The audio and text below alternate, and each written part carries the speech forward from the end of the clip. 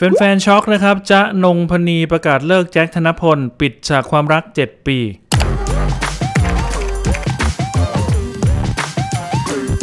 ทำเอาแฟนๆต่างช็อกกันไปตามๆกันเลยนะครับ เมื่อนักร้องลูกทุ่งสาวนะครับจ๊ะนงพนีได้ประกาศยุติความสัมพันธ์กับแฟนหนุ่มแจ็คธนพลลงเป็นที่เรียบร้อยแล้วนะครับ โดยจ๊ะนะฮะก็ได้โพสต์ข้อความผ่านทาง IG ส่วนตัวนะครับ โดยมีเนื้อหาใจความว่า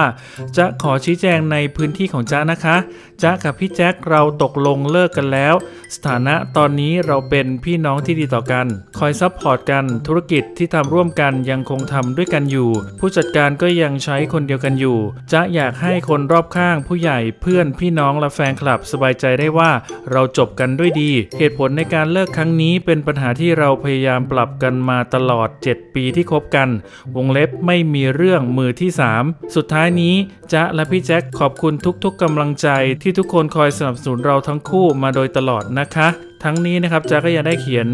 แคปชั่นพร้อม tag ถึงแจ็คธนพลอีกด้วยนะครับว่าขอบคุณสำหรับทุกอย่างที่ผ่านมา ขอขอบคุณข้อมูลดีๆจากสนุก .com และขอบคุณเพื่อนๆติดตามด้วยนะครับ ฝากกดไลค์กดแชร์กด Subscribe เพื่อเป็นกำลังใจกันด้วยนะครับ แล้วเจอกันใหม่ในคลิปหน้าสำหรับวันนี้ไปแล้วครับ สวัสดีครับ